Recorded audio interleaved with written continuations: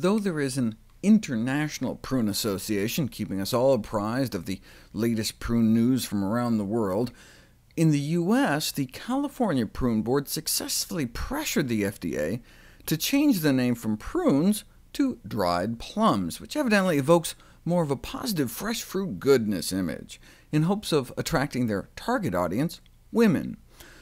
Of course, it might help if they actually included one or two on their board.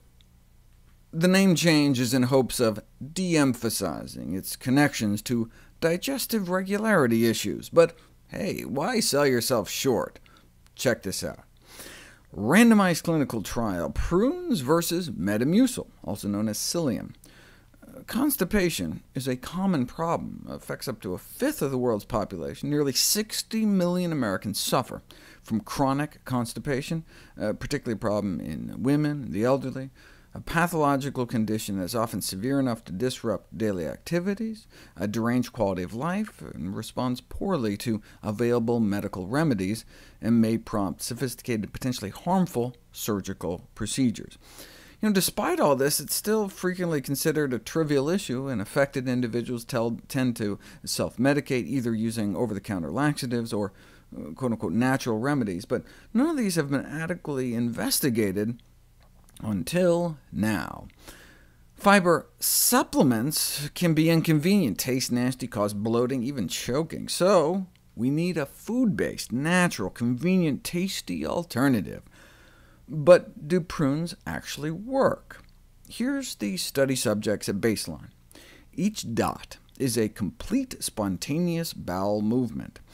Note how many people had zero bowel movements per week at baseline, about an average of 1.7 a week which went up to 3.5 on prunes, a bowel movement uh, every other day or so, then back to baseline off of the prunes, then on Metamucil got up to 2.8, then back down. And remember the Bristol stool scale? Significantly better stool consistency on the prunes as well.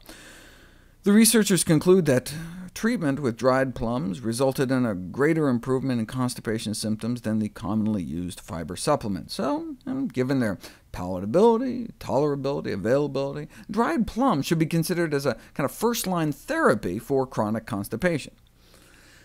If this is what adding one plant can do, 3.5 bowel movements a week, what if all you ate was plants? Where do vegans rate? Going, going, gone. Not two, not three, but 10.9 a week.